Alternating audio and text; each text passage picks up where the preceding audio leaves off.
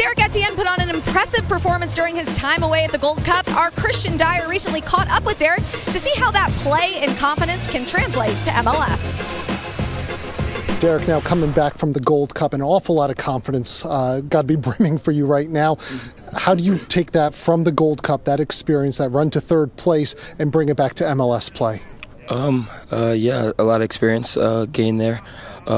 Brought a lot of confidence. So I'm just trying to to bring that back here, playing the same way. Uh, uh, they were very confident in, in the way I played. Uh, the coaching staff was was very proud of the way I played. So just coming back here and trying to hopefully use that and be able to to to put that in the games.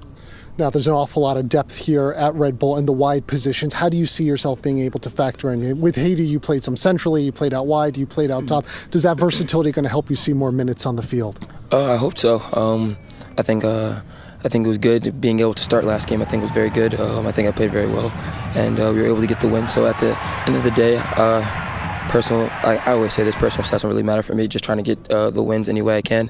So uh, if my number is called, uh, I'll be ready to go out there and play big moments for Haiti in the Gold Cup, best ever finish in the tournament. What came together in this tournament, especially as a group that didn't qualify two years ago for this very same tournament, to have this rise to third place? Um, I think because we didn't qualify, I think uh, it was extra motivation for us. Um, we understood that. Uh, you know, we, we let ourselves down, the, especially the way we we uh, went out last time. So uh, when we got there, we understood. We knew we were a very good group. We knew we can get uh, good plays, and uh, uh, we were we wanted to go out there and just show that Haiti's more than uh, you know just pro- poverty and stuff. So we know that uh, when we play, the whole country stops and watches, and uh, we were able to put that on display, and, and we were able to get that good run. Whole country stopped and watched. Whole country celebrated too. There was an awful lot of joy for those. How do you take this now into World Cup qualifying and that next phase as a country, and, and, and hopefully get to the big show? Uh, yeah, uh, we saw that we had a good run. We are very confident. I think that brought confidence for a lot of guys.